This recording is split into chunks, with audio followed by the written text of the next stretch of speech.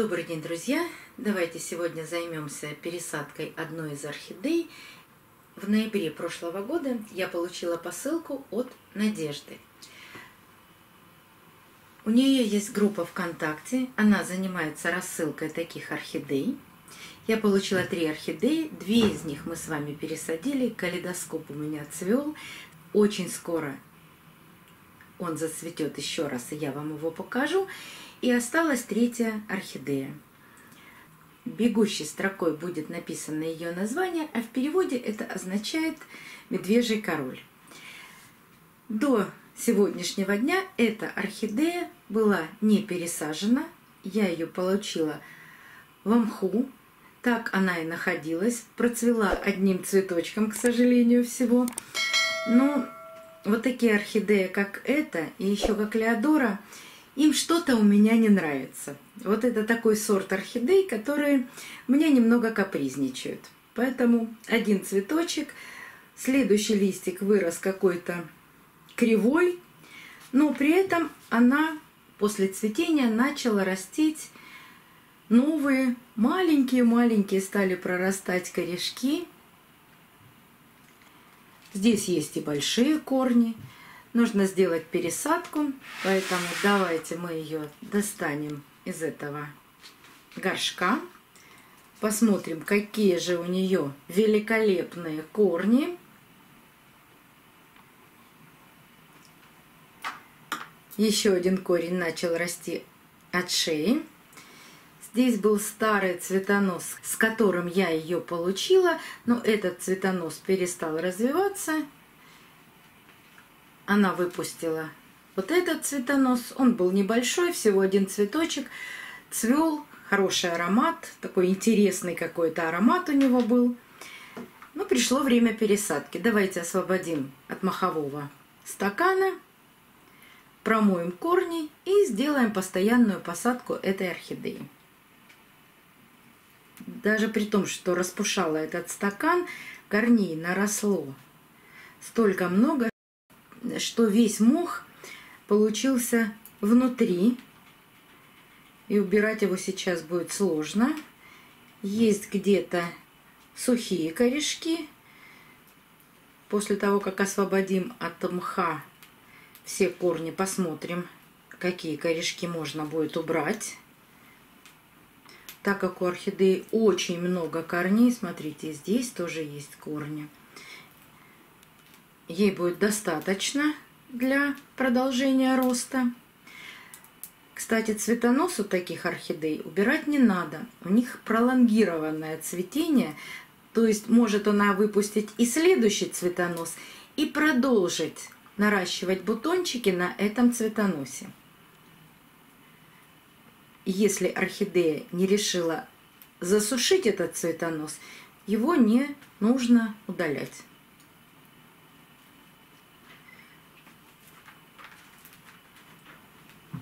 Такой мох я повторно не использую. Я вообще не самый большой любитель мха использовать в посадках. И в своих посадках я его и действительно и не использую. Поэтому убираю весь мох. Приходится убирать изнутри. Только здесь есть место, откуда можно безболезненно удалять этот мох. Корни великолепно росли, и весь маховой стакан оказался внутри этих корней.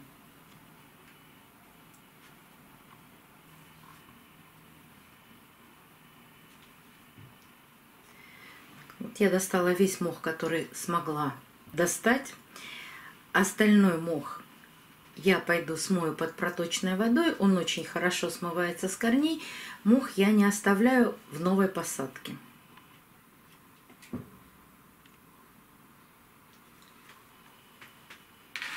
Весь мох, который возможно, я с корней удалила. Но есть такие нюансы, когда мох настолько прирос к корню или корень прирос к мху, что Убрать его не получится, не повредив корень. Такой мох я оставляю, но его минимальное количество. А теперь давайте посмотрим, какие у нее есть гнилые корни, которые следует удалить.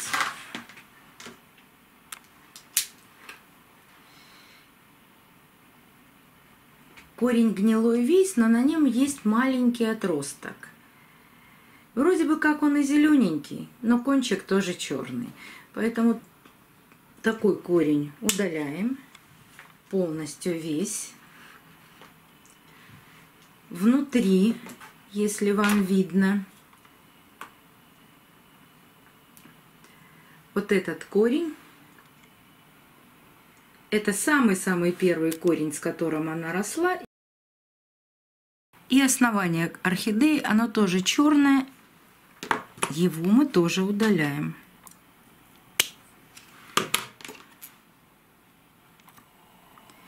Этот корень расти не будет, он желтого цвета, потому что жизнь этого корня закончилась.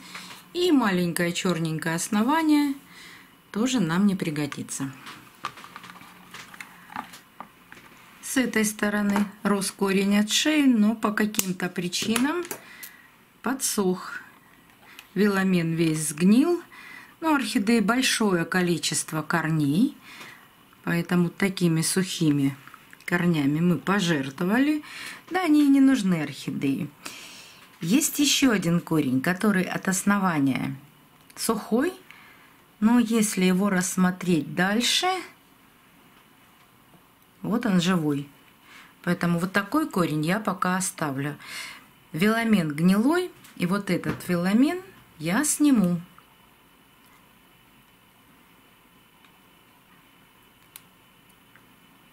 он не нужен. И постараюсь этот корешок засыпать грунтом.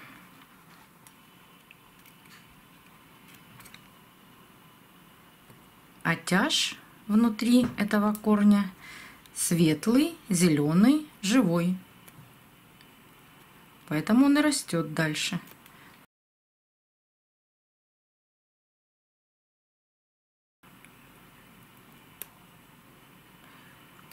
Зеленый он или не зеленый, он светлый, он не черный, что самое важное. То есть основной корень, которым является этот тяж, он живой и здоровый. Поэтому от него и растет дальше корень с неповрежденным веломеном.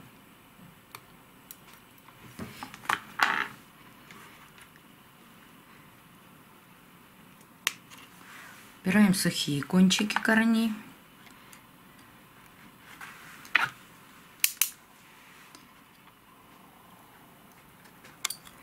Какие-то маленькие зачатки корней, но они высохли тоже. Так, смотрим еще, что же есть здесь такого, чтобы можно было убрать. Так, еще один корешок нашла. И еще один. До живого не дорезаю, поэтому не обрабатываю ничем.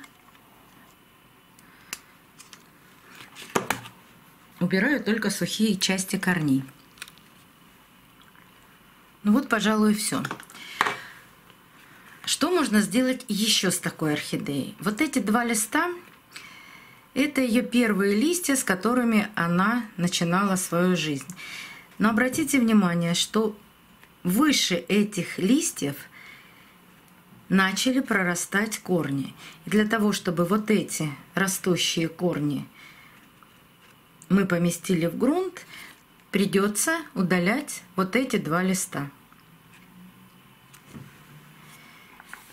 Лист всегда разрываем посередине на две части. Разводим в разные стороны. Хрупкие листья, сломался. Но ничего страшного, уберем пинцетом.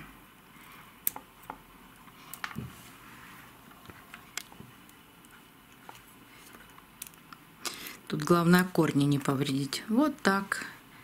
Ничего не осталось такого, чтобы могло там нарушить жизнь орхидеи. А вот от этого листа растет корень, поэтому старательно Отрывать его не будем, а просто подрежем лист и опять же разведем в разные стороны и безболезненно удалим этот лист.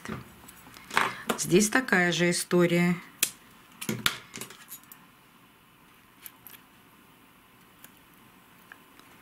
Одну часть листа в одну сторону, другую часть листа снимаем в противоположную сторону. И теперь эти корни у нас получится посадить. Как интересно растут молодые корешки на старом корне. Для посадки такой орхидеи я взяла горшок двойной 1,6. Она прекрасно поместится в этот горшок. Но как и Леодора, я замечаю, что эта орхидея тоже любит расти с наклоном ровно посадить, как мне бы хотелось. Ну, не то, что не получится. У меня получится. Но она все равно потом станет наклоняться. И какой грунт я беру именно для таких орхидей, которые росли в мху? Конечно, мой любимый керамзит, в который я всегда сажаю все орхидеи. Но для того, чтобы сразу из очень влагоемкого грунта не поместить орхидею в очень сухой грунт, как керамзит, я добавляю циафлору. Циафлора более влагоемкий грунт, и при этом она насыщена азотом, фосфором и калием и микроэлементами. Это поможет орхидее сразу получить какие-то для нее важные микроэлементы и макроэлементы и безболезненно вообще перенести пересадку, потому что с более влагоемким грунтом ей легче будет приспосабливаться к керамзиту. Циафлора у меня промыта и высушена, а керамзит, ну, как всегда, влажный. Постараюсь ее немного выровнять, придержу. Буду насыпать керамзит в горшок – с циафлорой. Здесь у меня 5 столовых ложек циафлоры. Может быть понадобится 5 столовых, может быть меньше. Сейчас мы с вами посмотрим, как у нас это получится. Буду насыпать слоями. Керамзит, ложку циафлоры, керамзит, ложку циафлоры.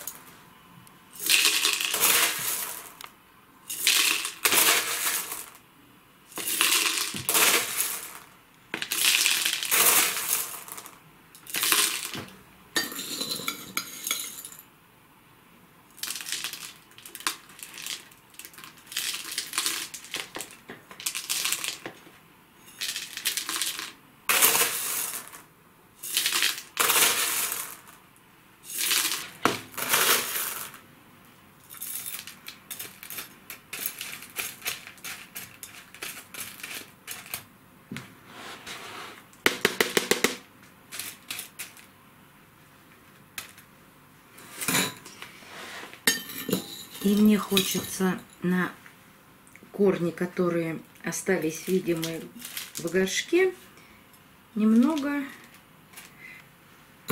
ближе к ним поместить циафлоры.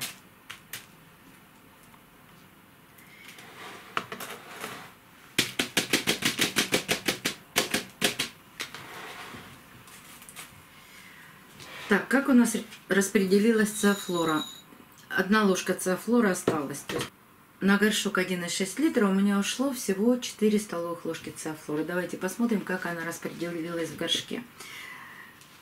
Потому что засыпала я ее слоями. Но посмотрите, она распределилась по всему горшку. То есть корням будет очень комфортно.